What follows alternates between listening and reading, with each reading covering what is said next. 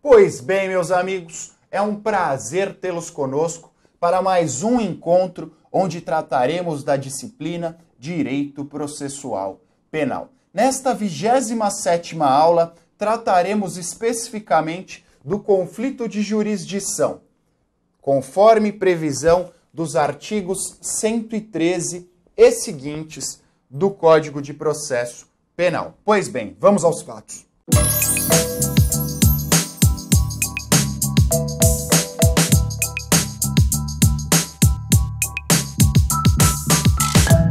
Meus amigos, em primeiro lugar, eu gostaria de lembrá-los da terminologia. Por quê? O Código de Processo Penal, se vocês olharem aí no capítulo 4, diz do conflito de jurisdição. É necessário que os senhores lembrem do conceito de jurisdição e do conceito de competência. Nós dissemos isso há algumas aulas atrás que competência é um modo de distribuição da jurisdição. Por quê? A jurisdição é una. A jurisdição é una. E a competência é estabelecida através de regras previamente dispostas na Constituição Federal e no Código de Processo Penal. Portanto, há uma única jurisdição que é dividida através das diversas formas de competência estabelecidas na Constituição Federal e no Código de Processo Penal. Diante desta constatação, doutrinariamente, há quem diga que a terminologia conflito de jurisdição é empregada erroneamente. O correto seria que o Código de Processo Penal dissesse conflito de competência. Transposta essa dúvida inicial, é necessário que façamos, que eu diga aos senhores, efetivamente, o que é o conflito de jurisdição ou o conflito de competência. De forma bastante sucinta, haverá o conflito de jurisdição ou o conflito de competência quando duas autoridades judiciárias disserem que são competentes para o julgamento daquela demanda, ou quando duas ou mais autoridades judiciárias apresentarem a recusa ao julgamento daquela demanda. Então, nós temos duas formas de conflito de competência ou conflito de jurisdição: o conflito de jurisdição positivo e o conflito de jurisdição negativo. Haverá o conflito positivo quando duas ou mais autoridades judiciárias disserem que são competentes para o julgamento daquela demanda.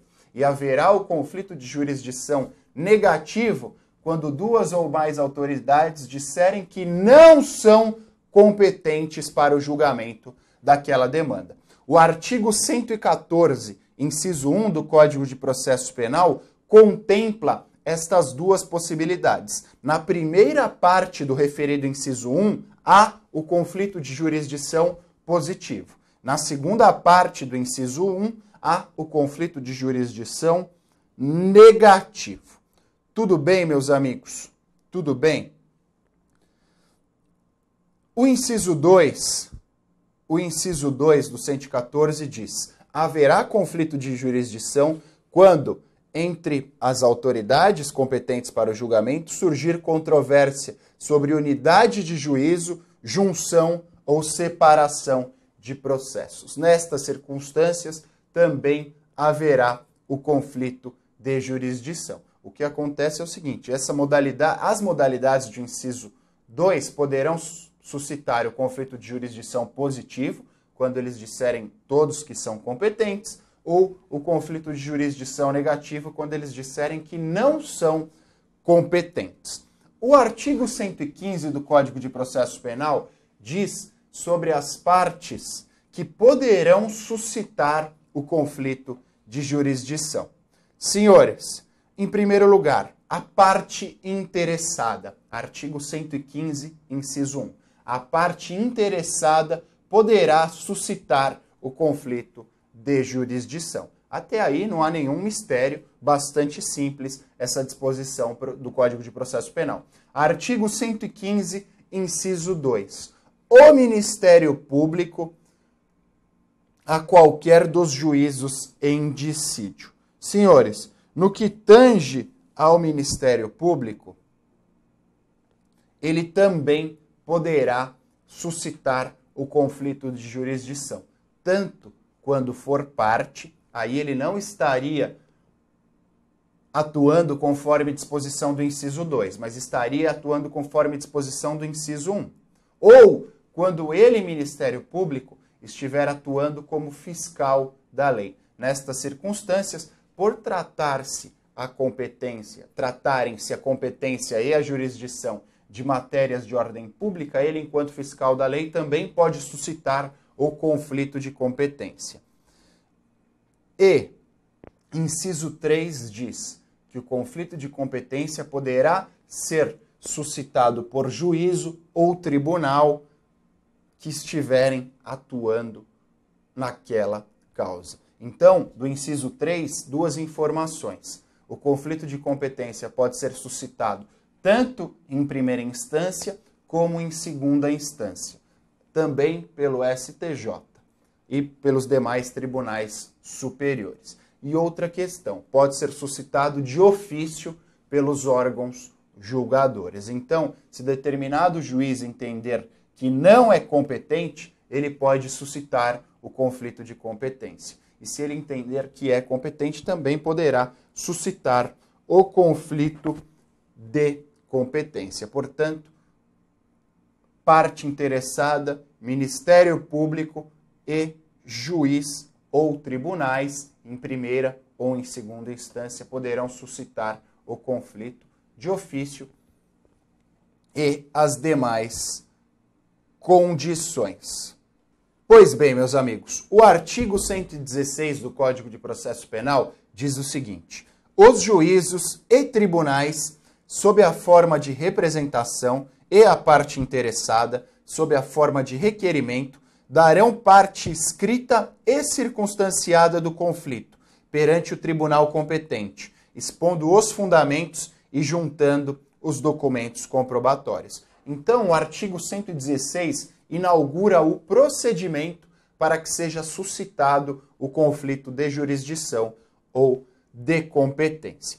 Em primeiro lugar, é necessário que vocês atentem à terminologia. Quando o juiz ou o tribunal apresentarem ou suscitarem o conflito de competência na forma do 115, inciso 3, é necessário que vocês tratem como representação. Ao passo que, quando a parte interessada suscitar o conflito de competência, é necessário que vocês tratem como requerimento. Então, se for juiz ou tribunal, representação. Parte interessada, requerimento. Isso no que tange a terminologia, tá? É necessário que este pedido seja feito escrito, de forma escrita.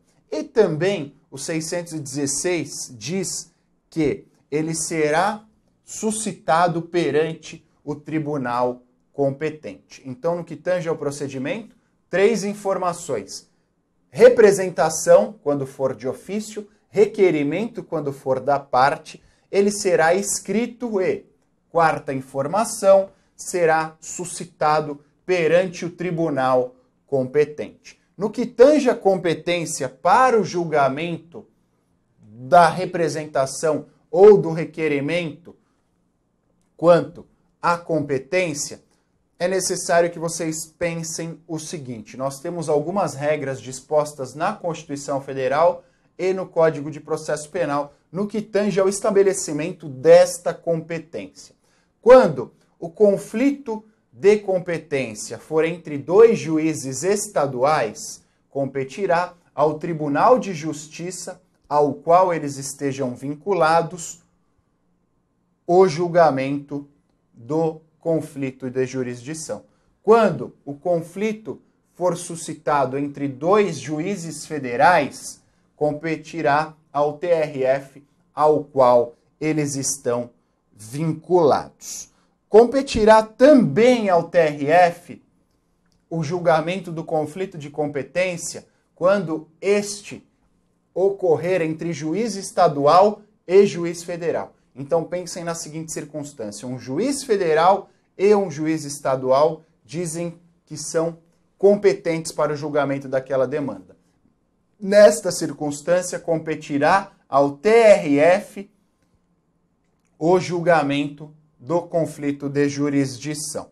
Senhores, compete ao Superior Tribunal de Justiça o julgamento do conflito de jurisdição instalado entre quaisquer tribunais. Então, entre TJ e TJ, STJ.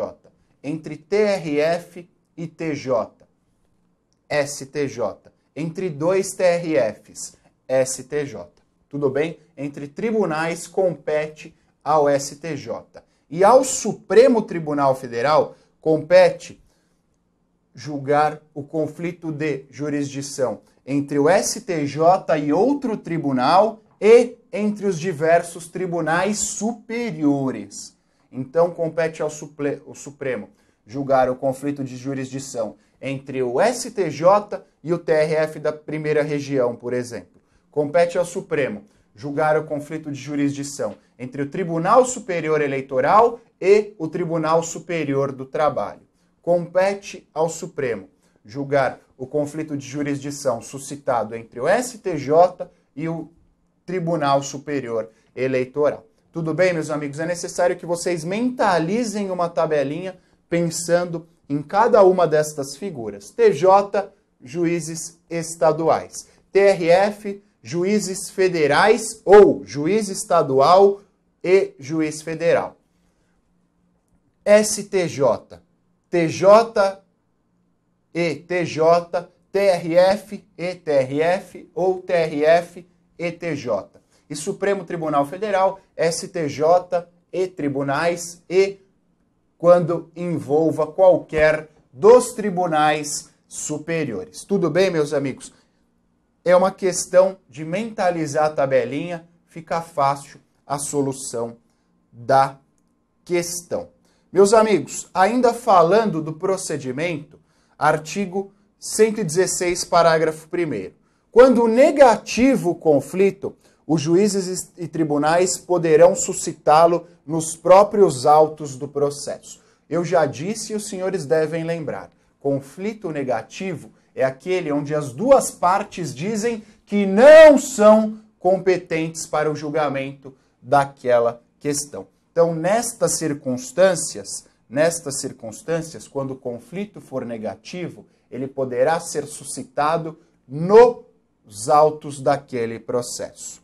Parágrafo 2 do 116 diz o seguinte: distribuído o feito, se o conflito for positivo, o relator poderá determinar imediatamente que se suspenda o andamento do processo. Então, conflito positivo. Após a distribuição, é possível que o relator determine a suspensão do processo. Então, só no caso do conflito positivo haverá a suspensão do processo. No caso do conflito negativo, não haverá a suspensão do processo. Parágrafo 3. Expedida ou não a ordem de suspensão, o relator requisitará informações às autoridades em conflito, remetendo-lhes cópia do requerimento ou representação. Parágrafo 4 as informações serão prestadas no prazo marcado pelo relator. Parágrafo 5. Recebidas as informações e depois de ouvido o procurador-geral, o conflito será decidido na primeira sessão, salvo se a instrução do feito depender de diligência. Aqui duas informações. Primeira delas, haverá o exercício pelo Procurador-Geral de Justiça ou pelo Procurador geral da República dá sua opinião. Então, esta figura emitirá sua opinião sobre o conflito de jurisdição ou de competência. E também é admissível a produção probatória quando esta for determinada pelo relator ou caso haja requerimento de uma das partes, eu, relator, entenda por bem determiná-la, então também é possível a produção probatória. Parágrafo 6. Proferida a decisão, as cópias necessárias serão remetidas para a sua execução às autoridades contra as quais tiver sido levantado o conflito ou que o houverem suscitado. Tudo bem, meus amigos? Então, no que tange ao procedimento, as duas informações principais. No caso do conflito positivo, é admissível a suspensão. Por uma questão lógica, duas autoridades dizem que são responsáveis pelo julgamento daquela questão. Até que se decida qual delas, até que se decida qual delas é responsável, não há razão para que esse processo continue tramitando. Por quê? Duas dizem que são responsáveis, mas o processo está tramitando em face de uma delas. Então, supondo que ele continue tocando o processo e depois se descubra que a outra era responsável pelo julgamento. Determinados atos, em tese, foram praticados pela autoridade incompetente. Então, no caso de conflito positivo, há a suspensão. No caso do conflito negativo, não há a suspensão. Tudo bem, meus amigos? Eram estas as informações relativas ao conflito de jurisdição. Foi um prazer tê-los conosco. Até a nossa próxima aula. Valeu, tchau!